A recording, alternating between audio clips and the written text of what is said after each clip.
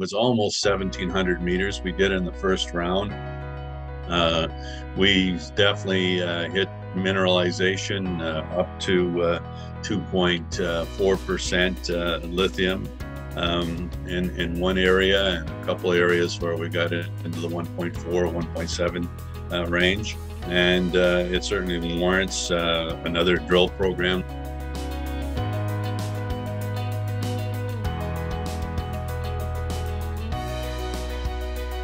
Hello, welcome to Assay TV. Today I'm joined by Harry Barr, who is the chairman, CEO, and founder of New Age Metals. New Age Metals have a portfolio of lithium and PGM projects across North America, including the multi million ounce River Valley Palladium project in Ontario. Now, that project has a pre feasibility study on the way, expected out later this year. But today we're going to be talking about their lithium project in Manitoba. That is the Winnipeg River Pegmatite project, where maiden drilling has been underway. Uh, Harry, great to see you uh, today, joining us from your beautiful house there in Maui. Um, tell us, to start things off, a little bit about um, your landholding position there uh, at Winnipeg River and the targets you've been looking at.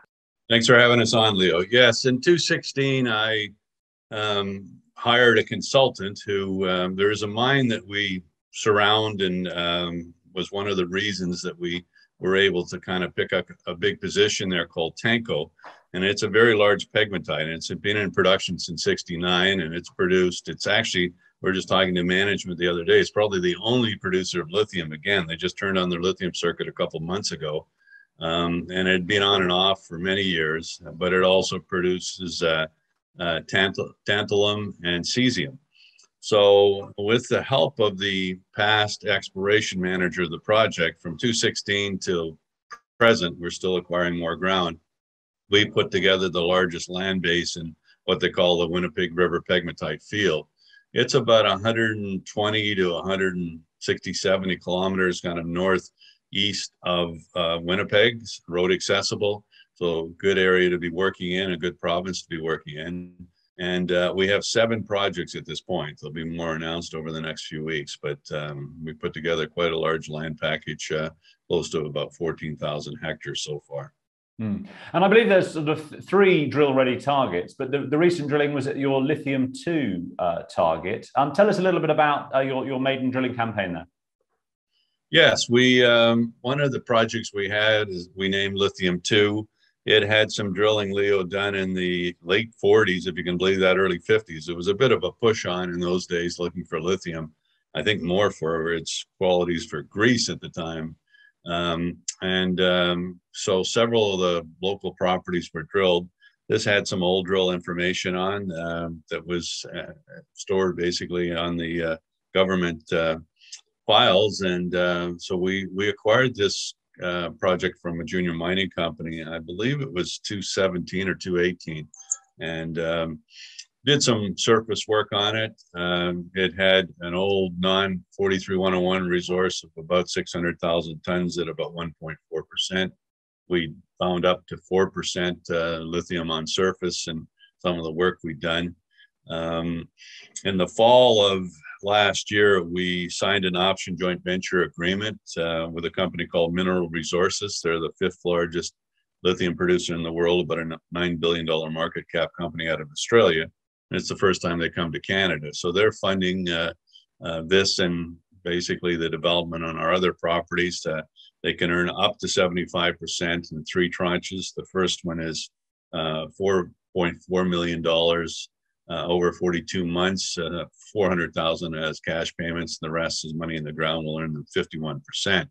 We're the field manager, so we uh, we we uh, along with our consultants help uh, do the work in the country. So the project was funded by them. It was almost 1,700 meters we did in the first round. Uh, we definitely hit mineralization up to 2.4% lithium um, in in one area and a couple uh, couple areas where we got into the 1.4 1.7 uh, range. Um, and uh, it certainly warrants uh, another drill program there to try and build up the resource. Um, so uh, put about 11 holes down today Mm. And in terms of, I mean, for our viewers who, are less familiar with the lithium uh, business, um, what sort of grades typically do, do, you typically look for in a sort of economic, potentially economic deposit of, uh, Yeah, I think in, in a good jurisdiction, anything that is uh, one per one percent or higher uh, seems to be uh, something that can be put to production.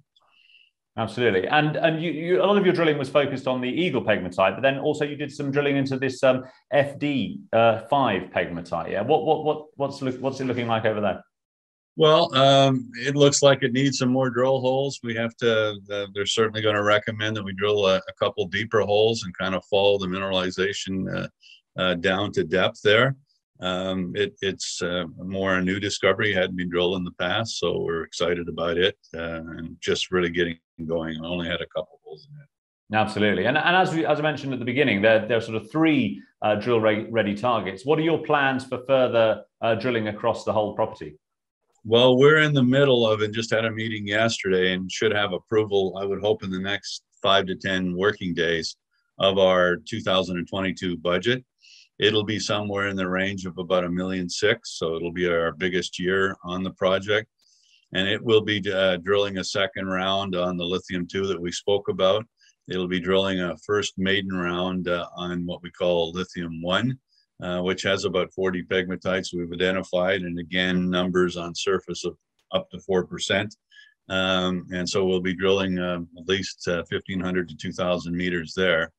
And uh, the third project doesn't have a drill permit yet. Where uh, we need to get back in the field this summer and finish an archaeological study um, for our, our native partners and get that done. And then we can get the drill permit finalized there. So I would expect it should be approved by late summer.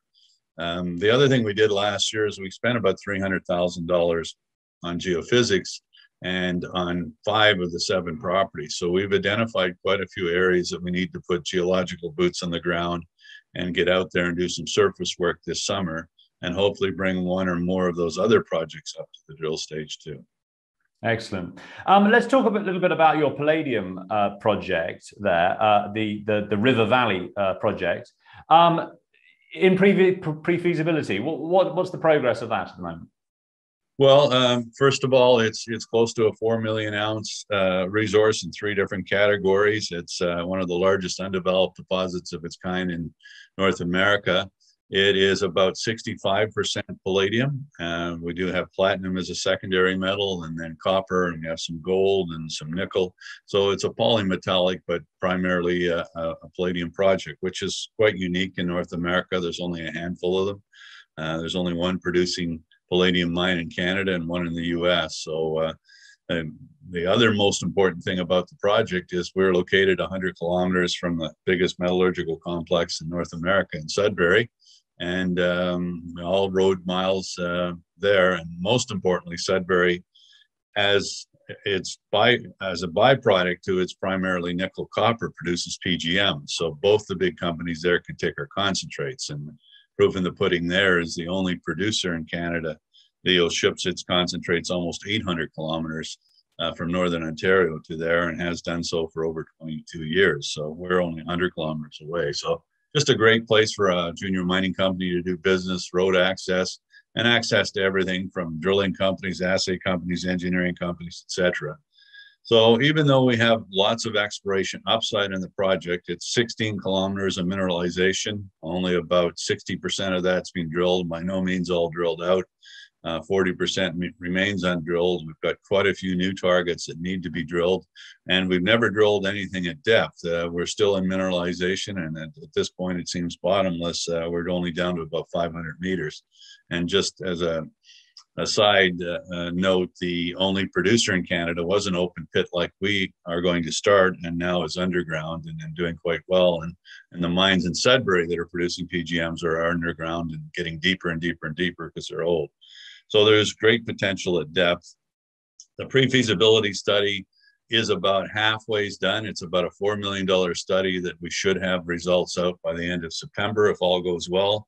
And uh, we've got basically um, three engineering companies, an environmental company, and a metallurgical company helping us do the study. Fantastic. And as I mentioned, uh, interesting times for the palladium market. Uh, what's your take on, on where the where the palladium price is, is heading? Well, as you know, it was heading uh, up and did exceptionally well. And then when this uh, debacle started in Russia, uh, Russia produces most of the palladium in the world in in South Africa. And so with sanctions and, and things like that in place, I, I don't know how long that's going to last, but I imagine the way Russia's treating the world, it will last for a long time. Um, a lot of cars, as you know, last year uh, just didn't get produced and were wanted. Uh, most of our car companies in Canada that are selling retail have no cars on the lot here yet. So there's a tremendous backlog, and and I think uh, the fact that they can't, we won't be able to get Russian metal is going to keep the price of palladium at a you know at a very lofty uh, height here for uh, quite some time to come. Mm, I guess these geopolitical uncertainties sort of highlight the need for you know having projects in safe jurisdictions. Yeah. Well, that's right. Both lithium and and uh, and PGMs, as you know, uh, as I, I was quite surprised. I didn't even know that the company Sinomine, which is a Chinese company that bought the Tanco mine that uh, is is um, very close to us, was producing in a small way. They're actually looking at a feasibility to almost uh, take the production up about 10 times and, and might even have extra capacity in the area, which would be great for a company like ours that might have uh, deposits very close to them. But, you know, that's the only thing that's happening at this point uh, in Canada. There really is no lithium production and very little in the U.S. And of course, that's where all the car companies are. So, uh, uh, yeah, having both PGMs and lithium in, in North America is a good thing. Absolutely. Um, to go back to your lithium project, then to wrap things up, I mean, when what's the sort of situation regarding getting more drill rigs out there and, and getting more news flow coming from the site? Yeah, we're getting close, Leo, to spring breakup, and that's about the only time you can't do work there. So I would think that uh, we'll get our budget approved here in the next week or two. We are working at things behind the scenes that we can do uh, and get out in the field by mid-May and, and probably go right through the end of October. And in that period of time, at least two drill programs would happen. A lot of boots on the ground on these geological anomalies and uh, try to bring that third uh, property up to the drill stage here before fall. So lots of work to be done, and it'll be our biggest budget on the lithium projects that we've had to date. Excellent. Busy year ahead. Well, uh, thank you very much for joining us today for that update uh, from Harry Barr of New Age Metals. Thank you, Leo.